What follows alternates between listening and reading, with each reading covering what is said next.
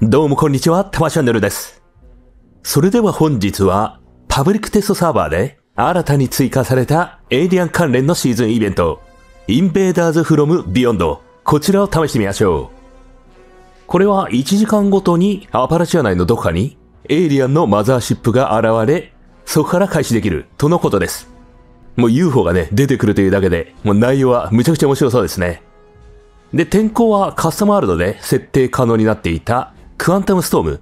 それに変わるっぽいですね。あのピンクっぽくなる天候ですね。で、目玉はクリア報酬でエイリアン関連の新武器が手に入るという点です。で、このシーズンイベント中は、 Campfire Tales と Free Range、それと Line in the Sand の3つのパブリックイベントにもエイリアンが現れるそうで、もう大量に出てくるんですかね。で、他にもこのエイリアンには世界各地で出会えるそうですが、じゃあまずはね、今回はその目玉となるインベーダーズフロムビヨンド、こちらを試してみて、で、その他パブリックイベントやランダムエンカウンターはどんな感じなのかは、また別の機会に撮影しましょう。で、先日の動画で、このエイリアンのイベントがね、予定通り実装されていたら、モスマンのシーズンイベントと被ってしまうが、何か変更あったのかなと、まあ言いましたが、ディスコードの方で公式のスタッフの人曰く、エイリアンイベントは結構変更がかかって今の形になったとのことです。まあしかし、期間限定のね、シーズンイベントにはせずに、やはり永続的に遊べるもの、それにしてほしいですよね。で、そのシーズンイベントにする理由が、なんとなくわかるんですよね、その。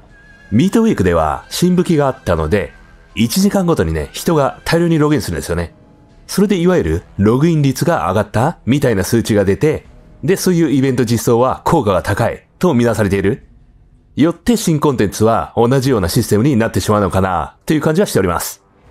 まあ、せっかくね、その長い期間かけてキャンペーンモードとか実装しても、もうレディットなんかでね、もう開発に何ヶ月もかかったのに、たった2時間くらいでクリアできるみたいな、まあそういうね、バカにする書き込みがね、出てきてしまうので、まあであるならばね、もうこういうシーズンイベントみたいな形になってしまうんですかね。まあいいや。じゃあ、というわけで早速ね、始めていきましょう。そろそろ時間ですね。残り1分ですが。どこに発生するのかな？今のところ空はね、真っ青ですけど。あ、始まった。イベントの近くによると、天候が変わるんですかね？どこだ？あここか。 Invaders from Beyond。ガラハンエステート。ここで発生するんだ。じゃあ参加しましょう。おおこれが、 mothership。でかそうだな。なんかこんな感じのキャンプをね、作ってる人いますよね。これがガラハンエステートの上に位置すんの？相当すごいぞ。始まった。あ、どうすればいいんだ？あ、天候変わってますね。あれか。おおあれ打っても特に何もないのかな？誰だ？ホーマー？セパーティアン？誰が話しかけてきましたが。なんだこれ？なんかありますね。え？特に何もないな。触ってもね。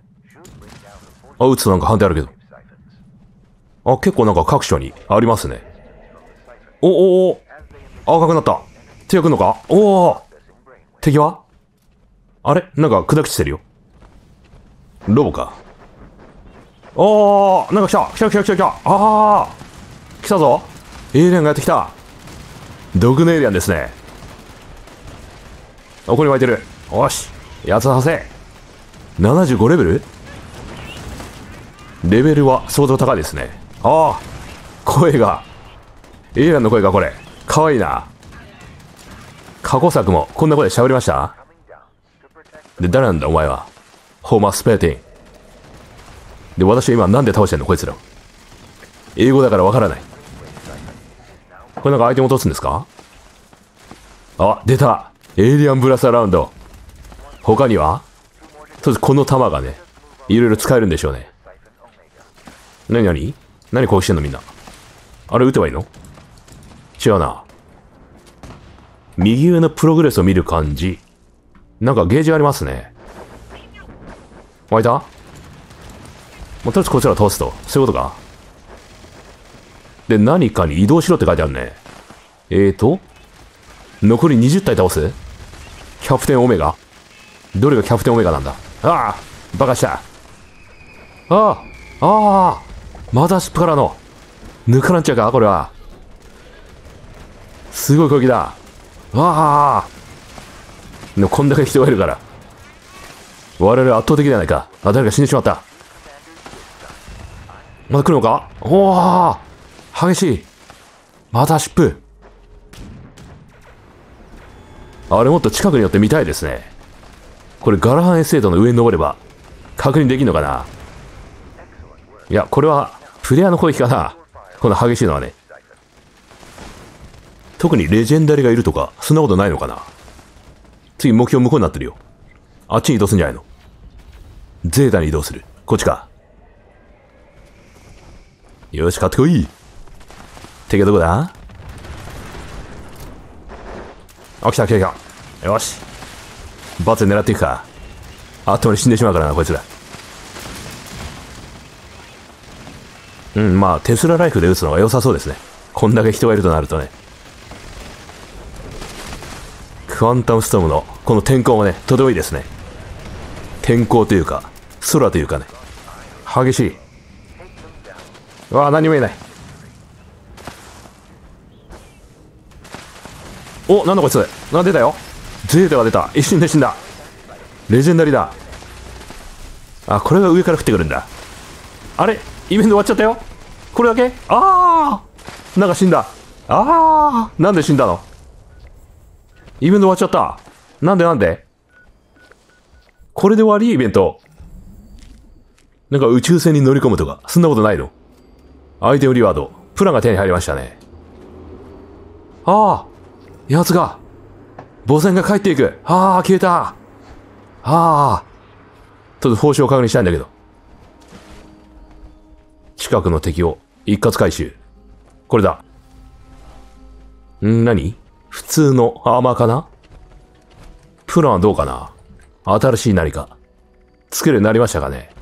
せっかくだから、武器のプランが欲しいよね。 Heavy Combat Legs？これ新しい？あとは、エイリアンの Collectible Stein？なんだこれ？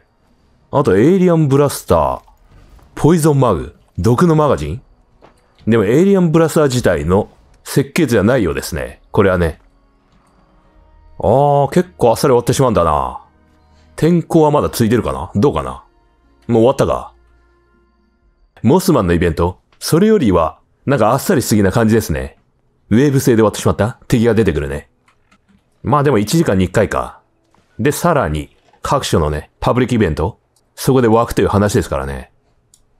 で、ちょっと多少うろついてみましょうか。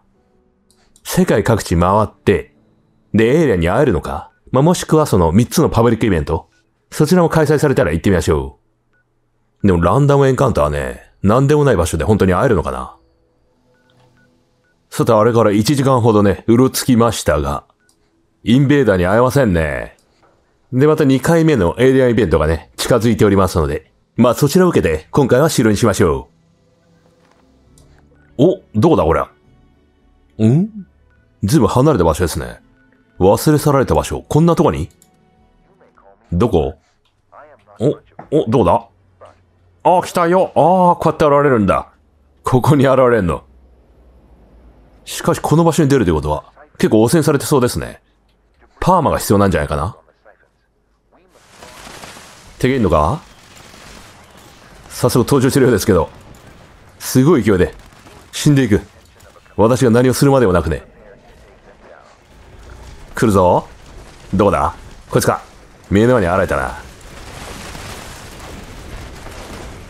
うん、こいつは新しい形態だよね、完全に。よし、報酬だ。ろくなものは持ってないな。ちょっとクエスクリアか。んキャンプアイテムかなまた。 Spiked Electro Enforcer。これ何？これが何なのかさえわからない。クラフトアイテム？武器なのか？キャンプアイテムなのかねでは本日はここまでですね。今回はパブリックテストサーバーで新たに追加されたエイリアン関連のシーズンイベント、 Invaders from Beyond を試してみましたが、まあ、ちょっと物足りない感じはあるものの、1時間に1回なので、まあ、サクッとこなせるという意味では良いのかもしれませんね。まあ、新武器入手のために盛り上がることは間違いないでしょう。それと、カスタムワールドで、ガラハンエステートの屋上にキャンプを作って、で、マザーシップに届かないかね、そちらも確認してみたいところではありますが、1時間に1回で、で、どこに登場するかわからないんでね、まあなかなか難しいのかな。まあこれは機会があればね、行いたいと思います。じゃ、というわけで、また別の動画でお会いしましょう。